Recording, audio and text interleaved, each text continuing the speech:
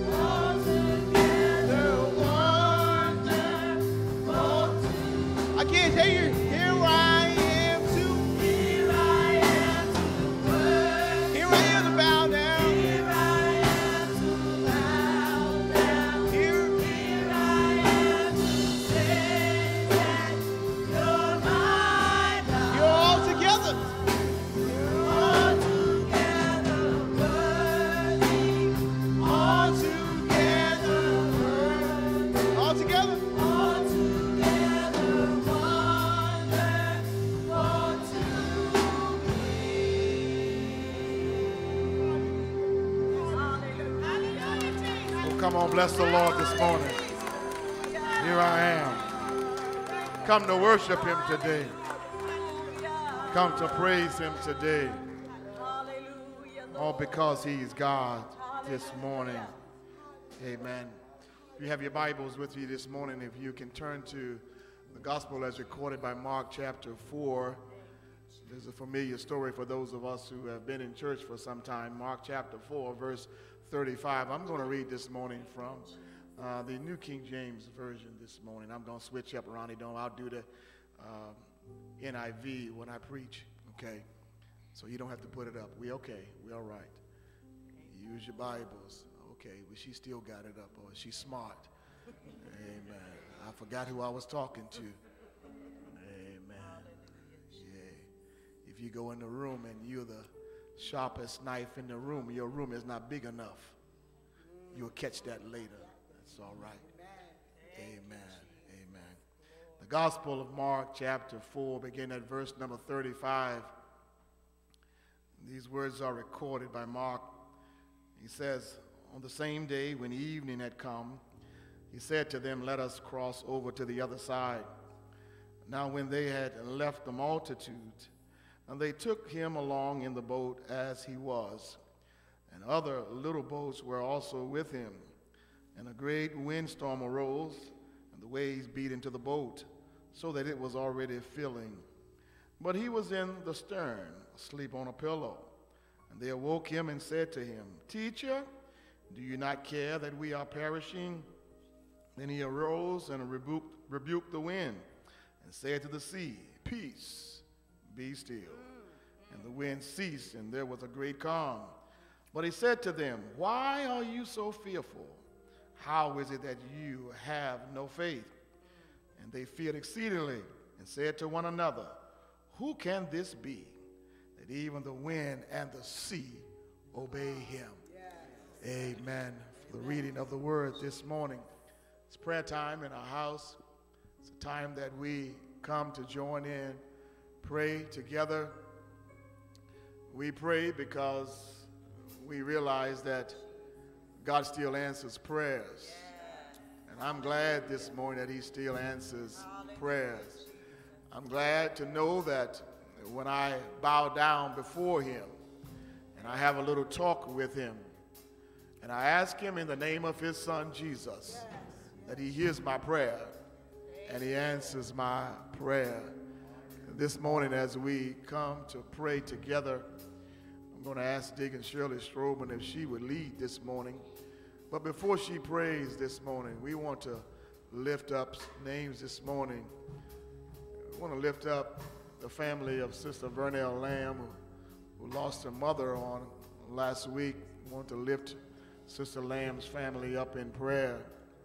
Sister Jackie has asked that we pray for her. If you want to come up, Sister Jackie, that we pray for her this morning.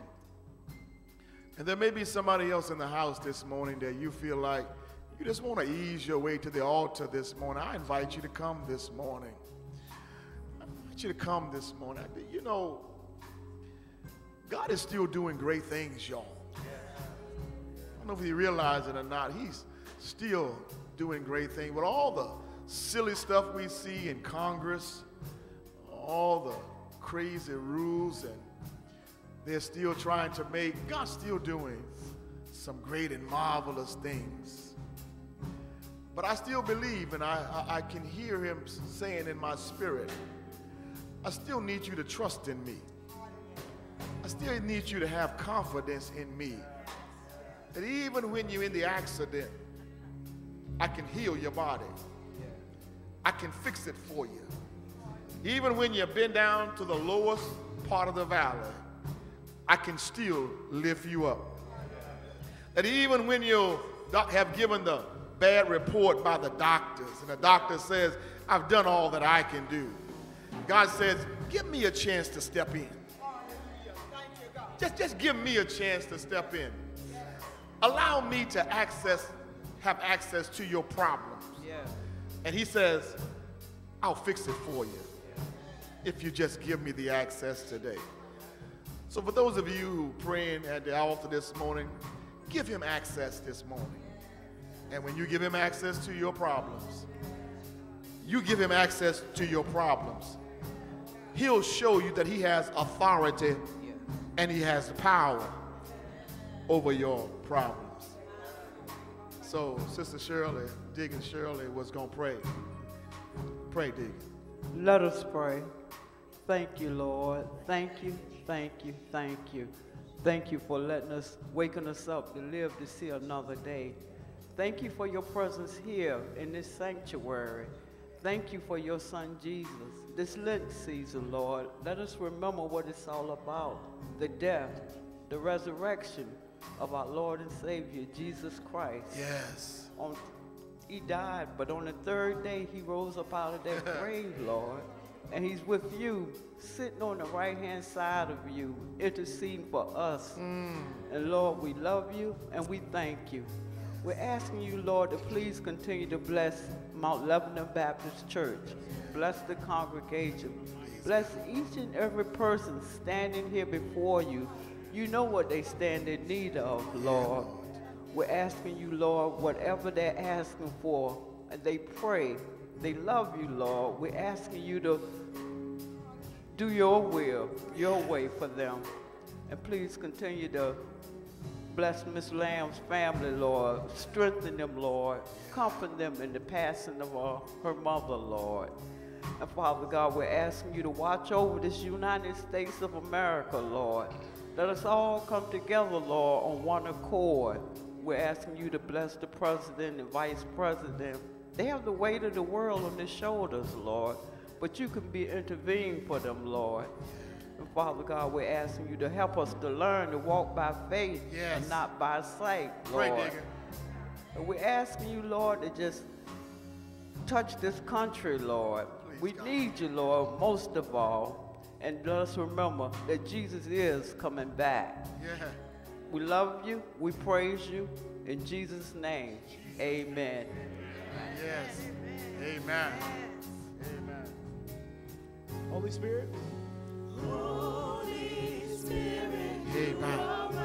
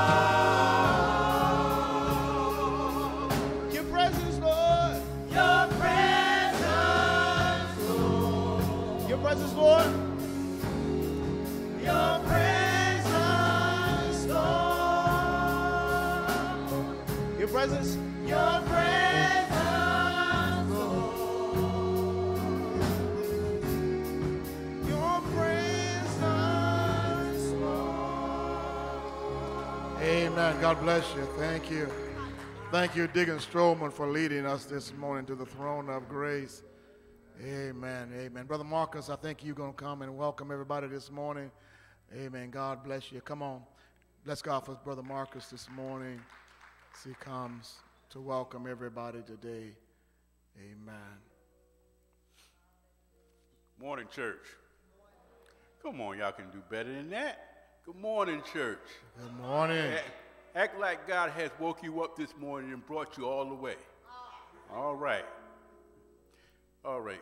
We want to uh, ask today: Is there any bless any? Is there any visitors today? Please stand. Well, everybody's not on the roll, so some of y'all in here are visitors. Amen. So if you don't want to stand, that's okay because you know what? You're still welcome anyway. So, it's a thought I want to leave you with here today is let God have his way in your life. And saying that, don't cut your own self short from his deliverance, hmm. his healing, Yes. even down to his prosperity. Yes. So, in saying that, let God have his way in your life, and you'll find out just how blessed you really are. Amen. So, we're going to have further remarks from our own pastor, Bobby Bowser. Amen. God bless you. Thank you. Thank you, Brother Marcus, for welcoming everybody this morning. We're just so grateful for those of you who got up on time, for those of you who set your clocks forward on last night and you got up in daylight saving time, not at Eastern Standard Time. Amen. So we're just so grateful for those of you who are here this morning. For those of you watching by Facebook, uh, we welcome you to the sanctuary here at Mount Lebanon Baptist Church. We're located at 1141 Campostella Road in the city of Norfolk, Virginia, where the zip code is 23523. And we welcome you to join us this morning, but we also welcome you to our sanctuary that you can come on any Sunday at 10 a.m. to come and to worship with you. We would love to have you with us that we can worship God together in spirit and in truth because he is a true and the living God. God bless you and may heaven smile upon you. Just a few announcements this morning. First of all, uh, the ushers uh, will be having a meeting following the morning uh, worship. Uh, so please be meet the ushers in the multi-purpose room immediately following morning worship. And on next Sunday, the ushers of our church will be celebrating ushers anniversary.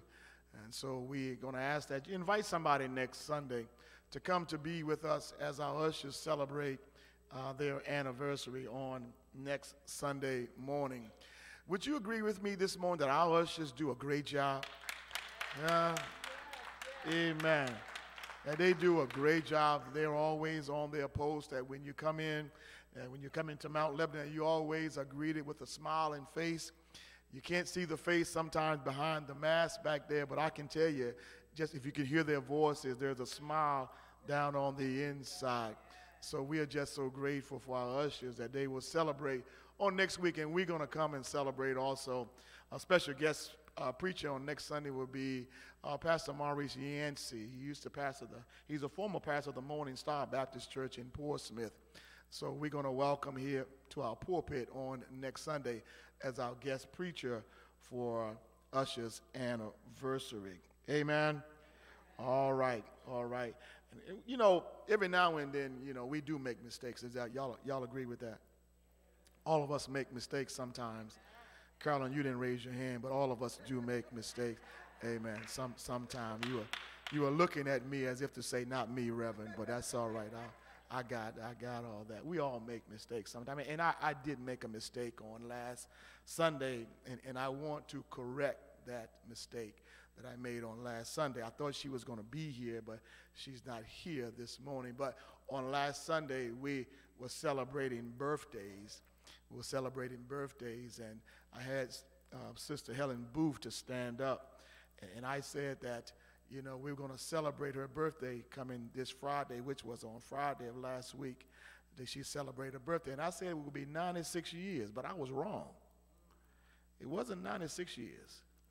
See, COVID messed me up. I missed some years in there. She celebrated 98 on Friday. Uh, God Almighty. Celebrated 98 on last Friday. And you know, uh, I called her and wished her a happy birthday, and she said, Pastor, my phone's been ringing off the hook. Folks been calling. helping me to celebrate and saying happy birthday to me. Well, you know, Sister Booth, I don't know if you're watching, or I'm sure somebody's going to tell you I said this, you know, we can't keep a whole lot to ourselves. You know, somebody's going to tell you that I said this. But you know, I pray that if I do make it to 98, that I be as healthy, as wealthy as you are. You know, she's she she's still spunky at 98 years young. Amen. She'll she'll get the pastor straight in a heartbeat. You know, she don't even hold none back. Yeah, but that's that's her, and I love her for. It. But at the end, Lucy, she always tell me, "You know I love you." but why you treat me so bad if you love me? But that's that's Sister Helen Booth. So we're just so grateful. Ronnie, you got something for me? Okay, you just try. Okay, Women's History Month. Okay, thank you, thank you. All right, all right. That's what you that's what you were there for. I thought you just wanted to be close to me. Okay, all right. Come on, Sister Ronnie. Veronica Moore is going to come. We're celebrating Women's History Month this month. Okay, she's going to present this morning. God bless you. Good morning. In honor of Women's History Month, they asked me to speak to you about some great educators. They probably thought that I would talk to you about educators such as Fannie Jackson Copeland, who was the first African American to become a principal in the United States, or even Mary Bethune, who was a dedicated educator who started a boarding school that, later, that later became Bethune Cookman College. They may even have thought I would talk to you about Dorothy Height, an educator who helped organize the infamous 1963 March on Washington. And she later received the Presidential Medal of Freedom and the Congressional Gold Medal. Well, while Copland, Bethune, and Height are indeed great educators, I want to talk to you this morning about some educators that have impacted my life. Some of these educators have degrees from institutions of higher learning called colleges, and some of these educators have degrees from the School of Hard Knocks called Life. At the top of my professional educators list, you would find Miss Dorothy Wyatt Turner. She was my first grade teacher and my neighbor.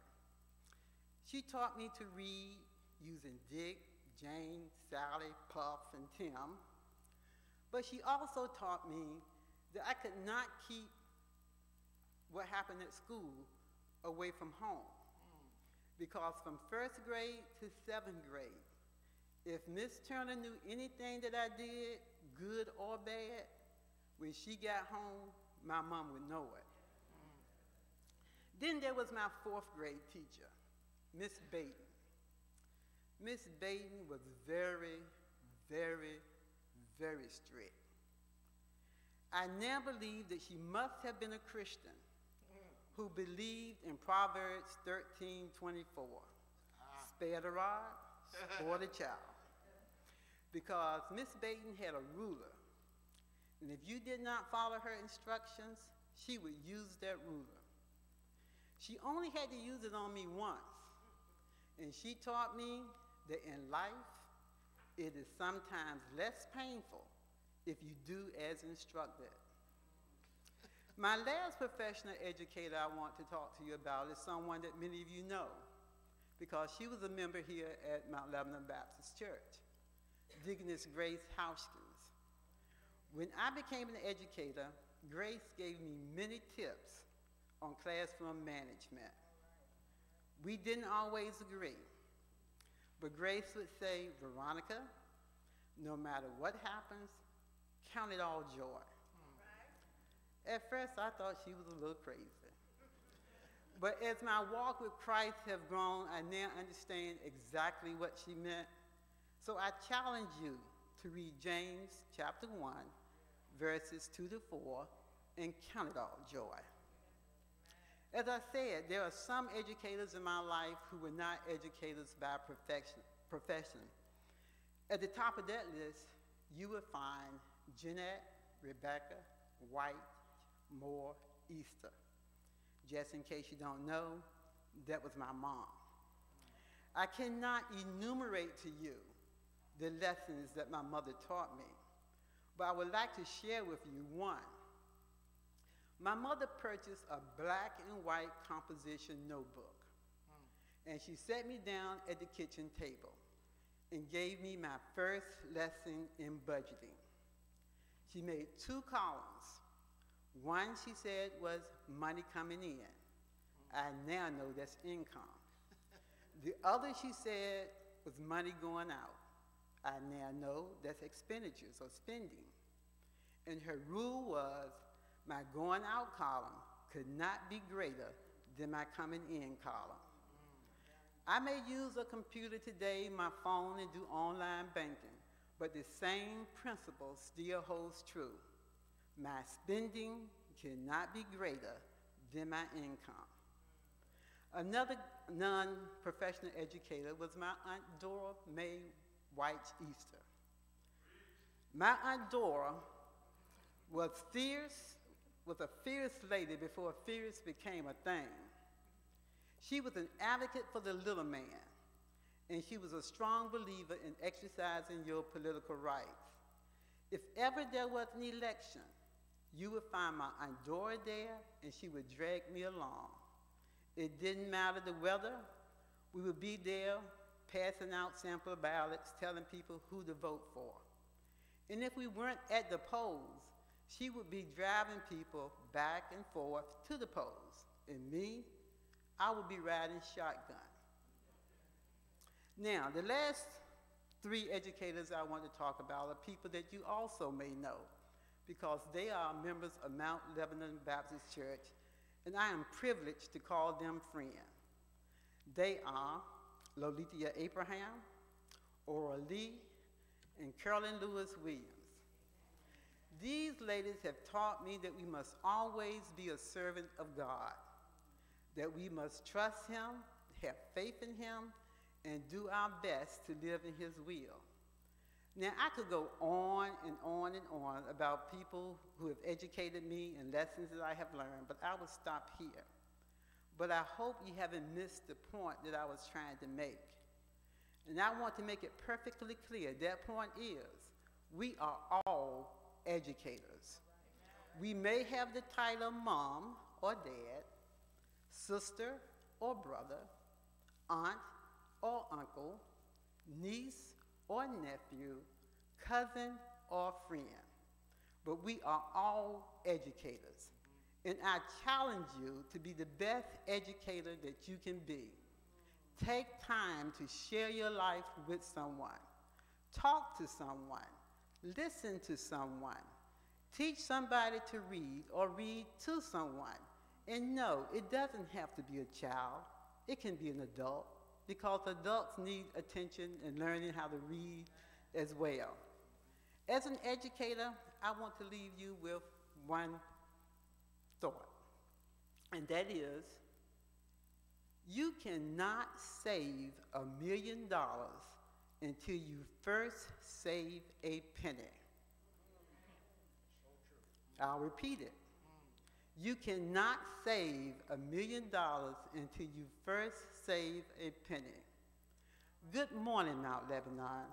I hope that you know that today, like every day, is a good day for teaching and learning, and you are not alone. Oh, well, come on, y'all can do better than that. Come on. Come on. Come on. Thank you. Come on. Well, well said. Well said, Sister Veronica. Well said this morning. Amen. We're all teachers. Folks are always watching us. So we're teachers teachers. Thank you. Thank you so much.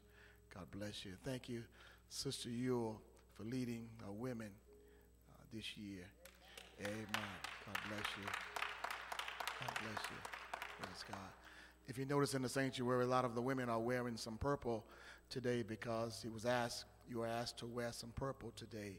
I don't know if they're going to change the colors or what they're going to do, but please, please, if you are a lady and you did not get the email or, or didn't get the message, please listen to them each each week. Each, listen to them throughout the month. Black History, Women's History. Amen. Amen.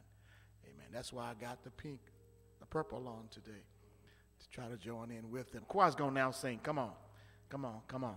Choir's gonna sing, and then we're gonna come back with the word this morning. Come on, choir.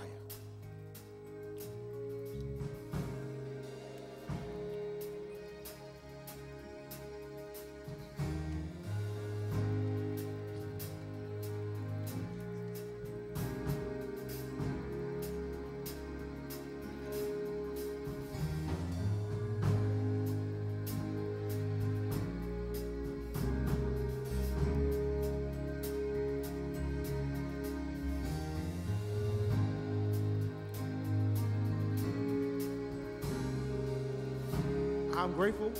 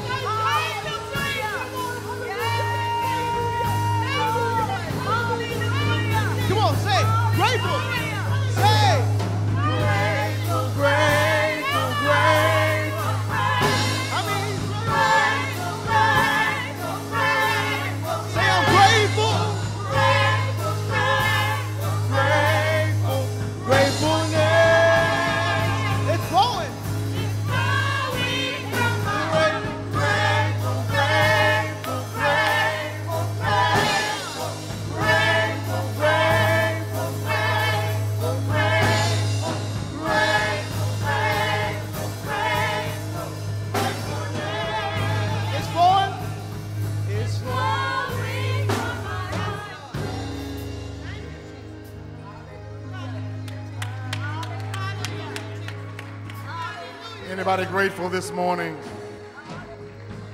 Grateful for how the Lord has blessed. Grateful how the Lord has led you. Grateful how the Lord has kept you once again.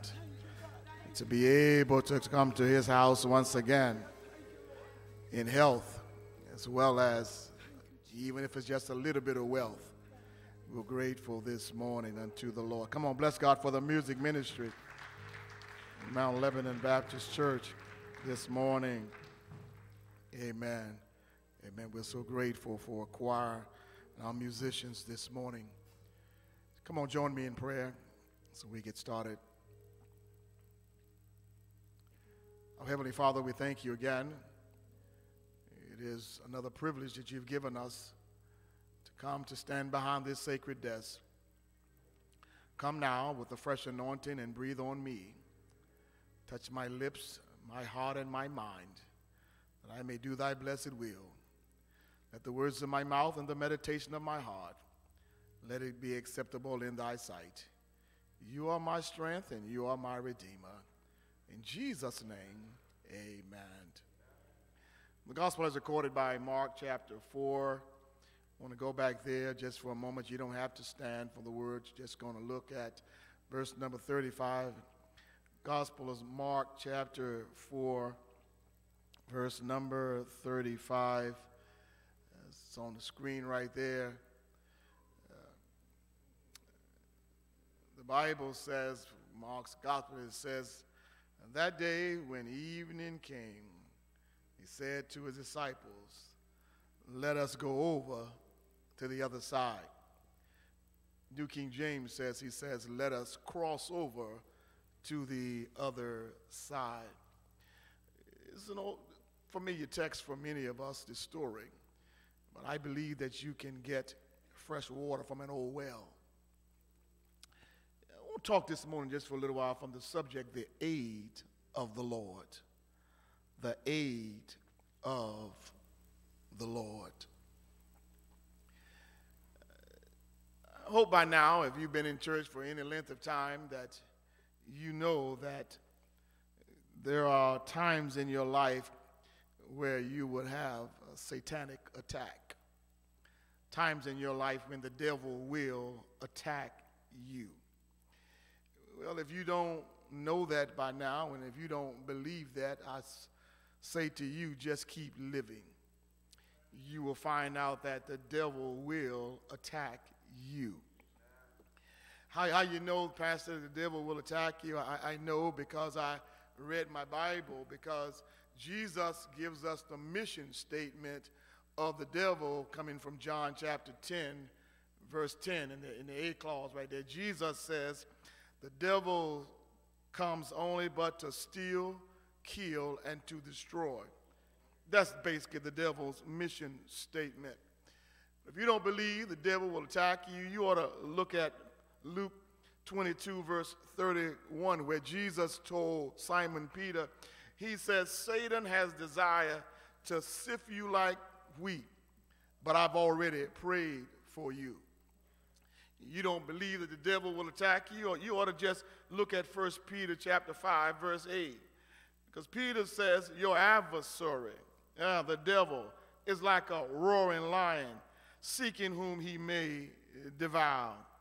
You, know, so, so you, you ought not to be surprised today when the devil launches attack on you. You ought not be surprised today when the devil launches attack on your children. Ought not be surprised today when the devil launches attack on your finances as well as your family. And- the reason that I know that the devil will launch attack on you be- because the devil holds back on nobody. No, nobody is extinct from attack of the devil. But so understand, as a believer in God, there, there, as a child of God, there are three reasons why Satan wants to attack a child of God. Well, the first reason that Satan wants to attack a child of God is that Satan wants to try to disprove what's in you. He, he wants to try to disprove what's in you. Paul says in 1 Corinthians chapter 4, verse 7, Paul says, We have this treasure in earthen vessels. There is a treasure that God has placed in these earthen vessels of ours, and the devil wants to disprove to you that God hasn't put anything really on the inside of you. The devil wants to try to disprove what's in you. And I know that he's put something in us because if you read 1 John 4 and 4, the Bible says, Greater is he that is within you than he that is within the world. God has placed something in you, but the devil wants to disprove to you that God hasn't put anything in you. That, that's why the devil tries to make your faith faulty.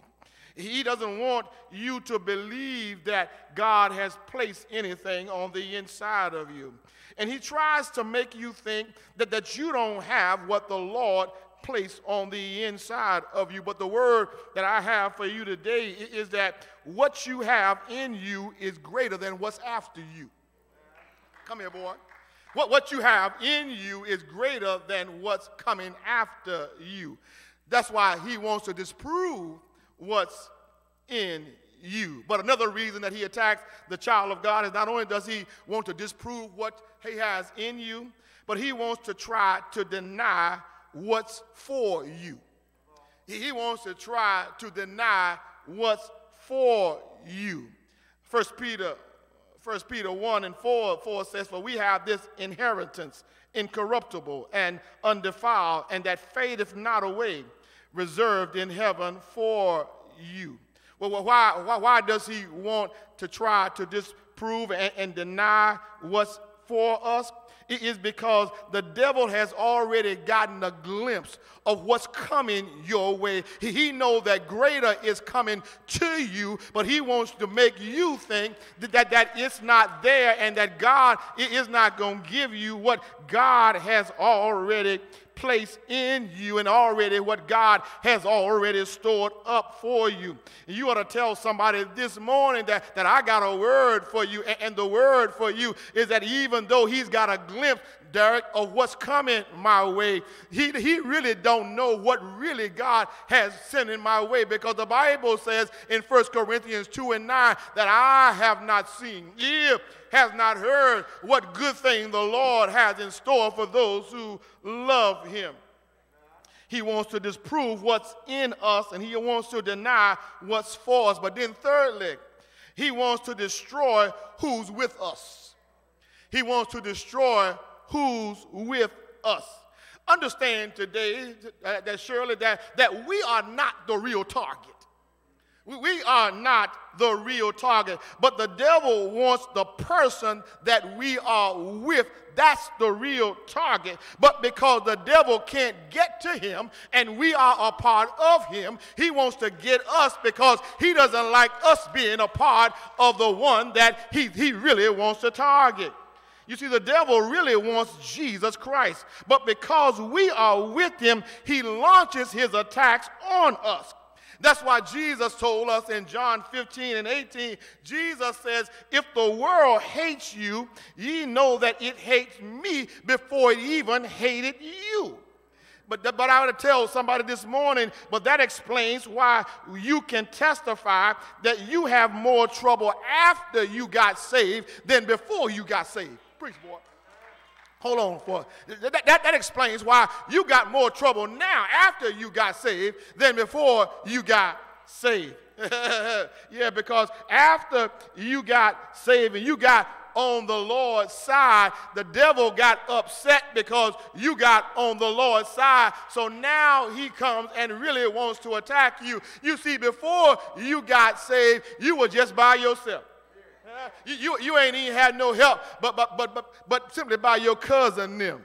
That, that's all the help that you had. But, but Jesus has this help that he can get us to get over anything that comes our lives. So now that we've gotten saved and we're on the Lord's side, he now launches his attack against us because he doesn't like us being on the Lord's side because we're on the Lord. When we are on the Lord's side, the Lord will help us to overcome any situation that comes my way. Can I take my time to preach to somebody today that you might as well go on and get mad because the launch of the devil is coming, but you ought to tell somebody, greater is he that is within me than he that's in the world. So, devil, when you come to try to launch your attack on me, I'm already ready because I've got the real one that can defeat you on my side. And he tells me that I ought to put you right where you belong underneath of my feet. Is there anybody here this morning that want to tell somebody, I know where he belongs.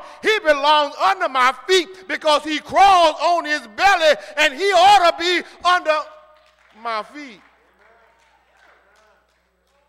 So he wants to launch his attack on us. He wants to disprove.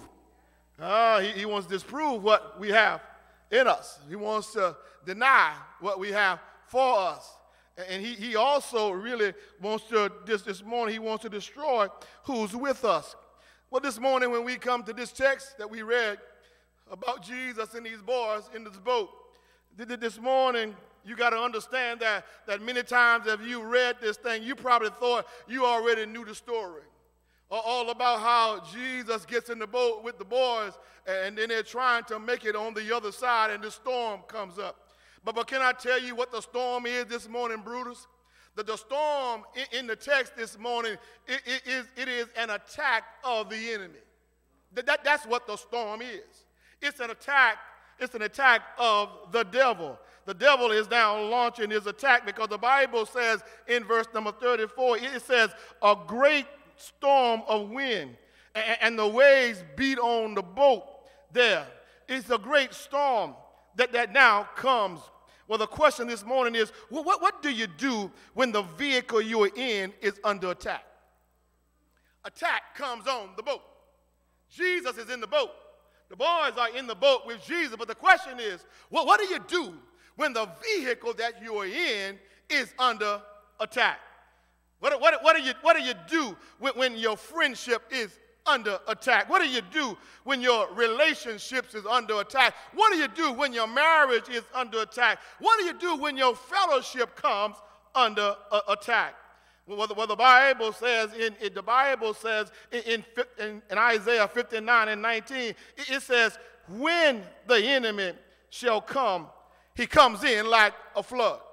He says, when the enemy comes, he comes in like a flood. He, he doesn't say if the enemy comes. It says when the enemy comes. In other words, it's coming because the word when is nothing but an adverb for time. It says it's just a matter of time before the enemy is going to step in and going to attack you. But the devil, why is he going to attack us? He, he's going to attack us because he doesn't want to see your marriage blessed. He's going to attack us because he doesn't want to see your children saved. He doesn't want to see you have peace in your family. He doesn't want to see your finance prospering. He doesn't want to see you coming to Mount Lebanon on Sunday giving the Lord praise. But because you are in the boat and the Lord is with you, and when the attack comes, it ain't just on you, but the attack is on the Lord also. That tells me, Derek, that, that, that, that when the attack comes on me and the Lord, I might get upset and I try to fight the attack, but I got somebody with me that can aid me in the attack. Come here, come here, come here this morning. Well, what, what, what do you do? You, you have to have trust that the Lord can aid you under your attack. Ah, uh, he can aid you under your attack. Well, well, in the text this morning, we, we discover three ways the Lord can aid us. We discover three ways in which the Lord can aid us. Well, well the first way the Lord can aid us, Lonnie, is that the, the, the Lord will give aid will give you aid when he, when he gives you an explanation of the attack. He'll give you aid when he gives you an explanation of the attack. Listen, uh, when, when, whenever we get, whenever I get attacked, whenever I know the devil is attacking me, one of the things that I want to know is why. Why is he attacking me? Be- Because if I know why he's attacking me, then, then that will just help me to understand what I need to do the next time when he attacks me, how, how to get around that. But if I don't know why, then, then I don't know how to avoid the next attack. But the Bible says this morning this, that, that, that this text right here that, that God will give us an explanation for the attack. You see, the reason that water is coming into the boat is because there's a word in the boat. Listen, the reason that there's water coming in the boat because there is a word coming from the boat. Ah, look, look at verse number one. If you go back to verse number one, here in chapter, chapter four, the Bible says, A great multitude gathered to Jesus, so he got into the boat with them. And then he began, he taught them many things while they were there in the boat. Look, watch this. If you go back and read that whole passage right there from verse 1 all the way to verse 34, Jesus is giving parables. He's giving a word to the people. He's giving word to the people while the people are there on shore and he's there with them. But then Jesus gets in the boat with the disciples and they launch out. Here's what you got to understand the word is not there on the shore, the word now is in the boat. Y'all missed that right there. The word is now in the boat, and the word is coming from the boat. So, what the devil does, the devil now attack, uh, begins to attack the boat with water coming in the boat because the devil has to now block the word coming from the boat. He, he, he starts the attack right there on the boat because there's a word in the boat and there's word coming out from the boat. So he launches an attack on the boat because the devil knows that if he can't kill the word and the word can get in those who are in the boat, he has no authority over those in the boat. Can I tell somebody this morning that the devil is, will try to drown you because he now has to try to drown the word that's in the boat so the word won't come from the boat. But you ought to tell somebody, I'm safe when I'm in the boat because I'm safe because I got the word with me when I'm in the boat. Hey. Got word coming from the boat. So, so, so that, that, that's why the enemy attacks you because the enemy wants to attack you because he doesn't want to see your marriage blessed. So he now brings attacks. He doesn't want to see your ministry blessed. That's why he attacks it because he knows if he doesn't launch, he doesn't launch an attack, that ministry is going to grow, that marriage is going to prosper. So he tries to sink that in which you know that God can bless. Yeah. But you got to know that the Lord will aid you. How will he aid you? He'll aid you when he gives you an explanation for, for the attack. He'll give you an explanation for the attack. But there's another way I want to give you this morning why the Lord, how the Lord can aid us. Another reason right here is that not only will he give you an explanation for the attack, but the text tells us more that he'll give you an example during the attack. He'll give us an example during the uh, attack. The Bible says, since there was a word coming from the boat, that, that there was a willingness to get in the boat. And the willingness was that the boys that was on the shore with him, that when Jesus got in the boat, the willingness was that they would get in the boat with him. Because Jesus says in verse 35, he says, let us cross over to the other side. The Bible says in verse 36 that they said that they took Jesus along with them. You see, the attack comes because you decide to follow Jesus. Because you decide, you are willing to decide to follow Jesus. You were willing to partner up with Jesus. And, and most of us will confess today that our attacks from the devil didn't really start until we decided to partner with the Lord. Uh, can I just break that down for you today? Because many of us know that, that even as a couple, Watch this. Even when, when we were just a couple and we weren't married, we were shacking up, everything was happy for us. Everything was going real hunky good and glorious for us. But as soon as we went to the justice of the peace and we said, I do, and we got back home, every everything started breaking loose right there. After you, you, you know why you know why the attack came afterwards? It was because you were now doing the right thing.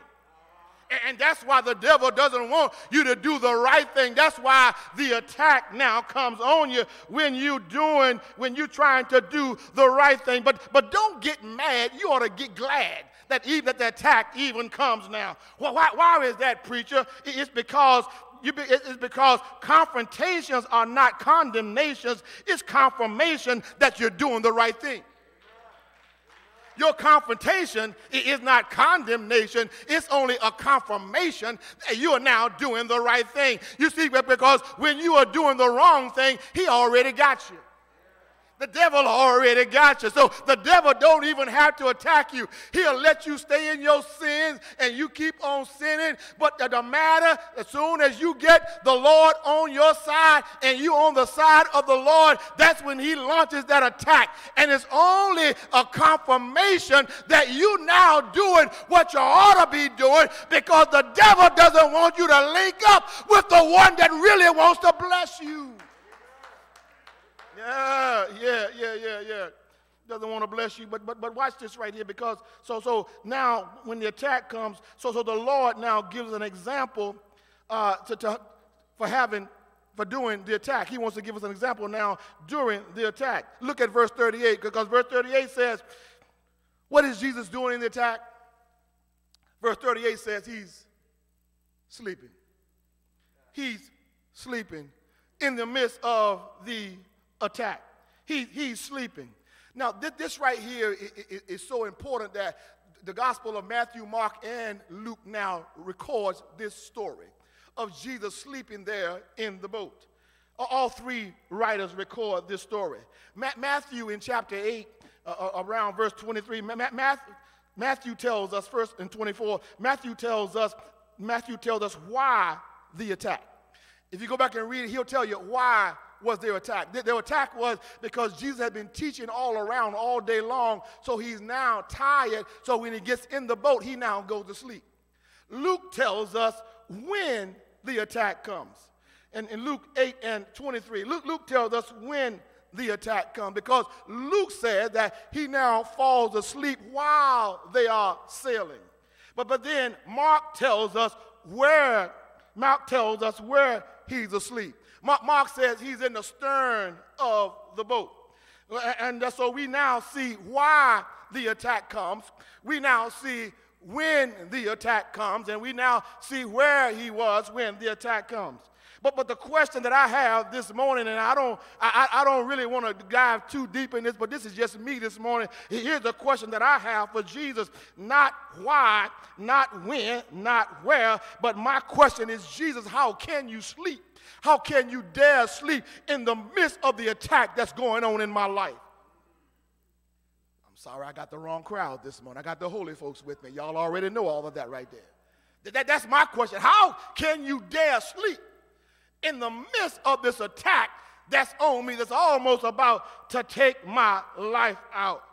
The winds are beating on the boat. Water is filling the boat, but Jesus is asleep. How can you sleep? Jesus. Jesus says this morning, Terry Carter, Jesus says that, listen, the reason that I can sleep in, in the midst of what's going on, the reason I, I can sleep is because you see me sleeping on a pillow, but I'm really sleeping on a promise. You, you, you see me sleeping on a pillow, but I, am sleeping on a, a, promise. Go, go back to verse 35. Jesus says, Let us cross over. He says, Let us cross over. And when Jesus says, let us, that, that, that means that you are not by yourself, that, that I'm with you when you cross over. That even when you're going through your divorce, baby, I'm with you. That even when you're going through your bankruptcy, I'm still with you. Even when you're trying to come out of the valley of the shadow of death, Jesus says, I'm with you. And when I'm with you, you are more than an overcomer. And you ought to tap with your neighbor somewhere and tell your neighbor that I'm glad that he gives me example during my attack because I understand that when I'm going through my attack, he can rest. And if he can rest during the attack, that means in my attack, I can rest also because I have a promise and I can lay my head on a pillow because I got a promise. So when I lay down at night, I don't have to worry. I don't have to wonder. I got a promise from the Lord so I can rest when I lay down at night. Because I got a promise that I'm coming out of this thing. We we going to make it to the other side. So this morning, we see from the text this morning, we see he gives an explanation, an explanation for the attack. Then he gives us an example during the attack. But then thirdly, and I'm done this morning, he, he now gives us an exit strategy in the attack. He now gives an exit strategy in the attack. You ought to tell somebody there's a way out. He gives me a way out. The Bible says in 2 Corinthians 10 and 9, it says there's no temptation has overtaken you that is not common to man. For God is faithful, that he will not let you to be tempted beyond your ability, but that with the temptation he would also provide a way of escape that you may be able to endure in this. Verse 39, he gives us an exit strategy. Exit strategy this morning, this morning, Mike, is simply this. They woke Jesus up. They, they woke Jesus up. And, and when they woke him up, what they were doing was they were now getting him involved in the uh, attack. Well, there, there are three things that Jesus does when they wake him up. The first thing that Jesus does when they wake him up is, is that he, he arose in the presence of the storm. But, but then he arrested the power of the storm because the Bible says he now speaks to the storm. And then, thirdly, he arranged the peace to come out of the storm. Because Jesus now looks at the storm and he says, Peace be still. In other words, it's time, storm, for you to shut up. In other words, what Jesus says, it's time for you, Satan, to take your hand off of God's children. I want to tell somebody this morning that John 14 and 27, Jesus says, Peace I leave with you. My peace I give to you. Not as the world give, do I give to you. Let not your hearts be troubled, neither let them be afraid. Well, this morning I want to tell somebody that the Lord will aid you.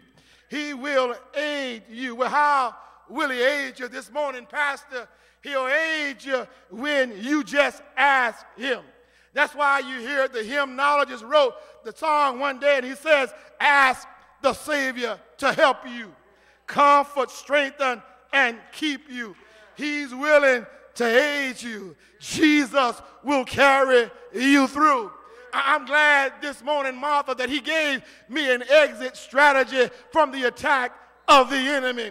And my exit strategy is all I got to do is wake him up. Anybody this morning want to tell somebody, I'm glad that I woke him up this morning. Early this morning when I woke up, he had already gotten up. And, began, and even though I went to sleep last night with some trouble on my mind, I woke up this morning and Jesus was already woke. And now I just told him all about my troubles and he came by and he aided me in the midst of my trouble. I want to tell somebody as I go to my seat this morning that he wants to aid you. He wants to comfort you. He wants to keep you. All you got to do is just wake him up. Well, good morning, Mount Lebanon Baptist Church. May the Lord bless you real good. But is there anybody in the house this morning just want to testify that he'll aid you in the midst of the attack of the enemy. I had some hellhounds on my track, but the devil was on my track, and God made the devil behave. Is there anybody this morning want to testify and tell somebody I was down in sin, deep as I thought I could be, but the Lord came to my rescue? Is there anybody this morning just want to testify that I know I need some help? I know that God will help because I saw him help you.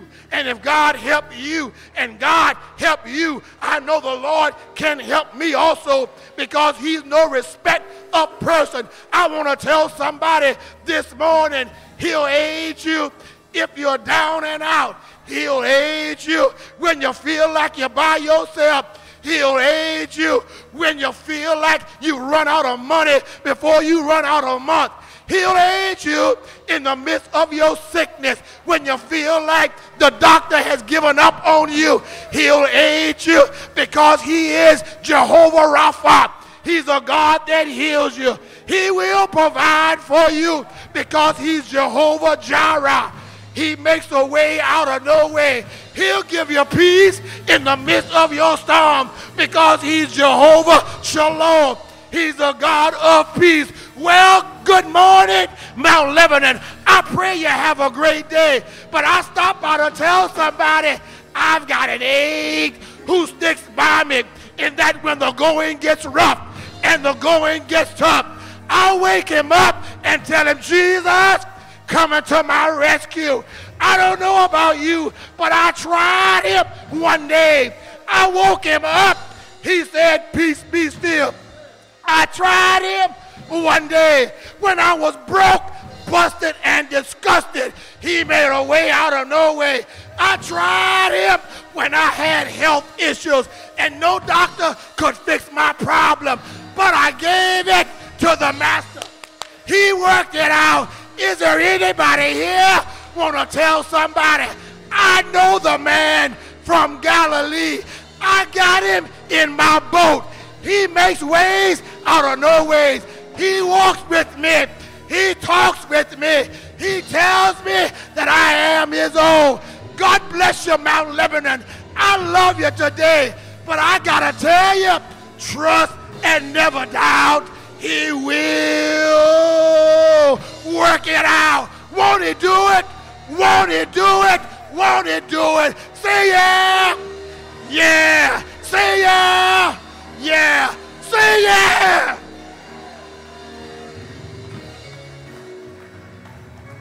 He'll aid you.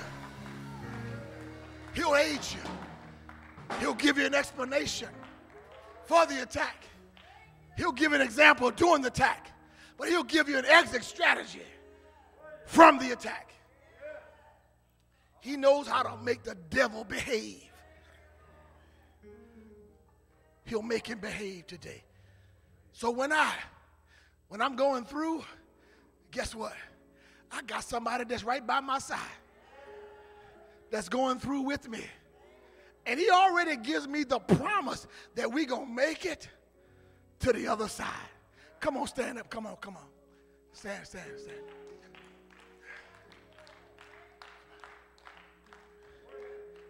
He's aid. He's willing to aid you today. He wants to carry you through. But there may be somebody here today that's not saved, and you just don't feel like you have an aid on your side. I invite you this morning. I invite you this morning to come to give your life to Jesus. Let him aid you today. Let him aid you today. Let him come to be that helpmate that you need to walk with you. But there may be somebody here today that you already saved, but you need a church home. You want to come to make Mount Lebanon the place where you want to reside as a member. Why don't you come today? We invite you to come to be a part of the congregation here at Mount Lebanon. We will walk together with you through this pilgrim journey. Is there one who would come this morning? Man, woman, boy, girl, you want to come. You want him to be your aid. Aid. Every head bow while we pray. I want him to be your aid. I want him to be your caregiver. That's right there with you when you need him. Father, thank you now for your people that's come today to hear your word. Touch that life right now, God, that's trying to make a decision, comes in, wants to make a decision, but the enemy keeps knocking at the door saying, No, no, no, no. But Jesus says, Yes, come, that I can partner with you. I'll be your aid throughout eternity. That's what I'm here for. That's why the Father sent me to be your aid. And that's what I want to be for you today. So touch right now, speak right now. In Jesus' name, amen. Amen. You may be seated. May be seated. The Bible says they got to the other side. And all those in the boat said, Who is this? What manner of man can this be that even the wind and the waves obey his will? He'll aid you. Amen. Amen. It's offering time. Come on, Brother Wooders. Come on. Come on. Come on. Come on. As we give today. Anybody in church like giving? Anybody in church like giving? That, that sounded like about three of y'all that like giving. Well, you can't give if you don't have. But if he's blessed you to have, you ought to love giving. Now, if, if you want the Lord to love you, learn how to give. You, you, know how I know that? Because you're going to see it on the screen. The Bible says God loves a what? So when I love to give cheerfully, he loves me. He loves a cheerful giver. The more you give, the more he'll give back to you. Can we all stand as we read our offertory litany today? It's offering time. it's time to bring our tithes and offerings. To whom does the tithe belong?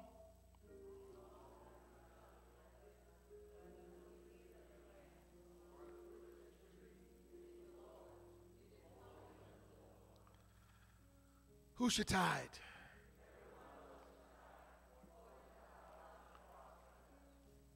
Why should we tithe?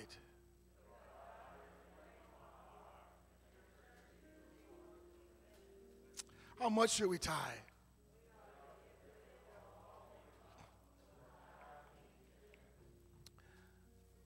What is God's promise to us when we tithe? There it is.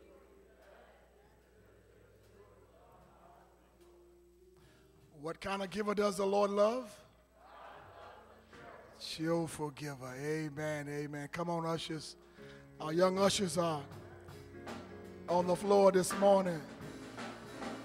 Amen for them.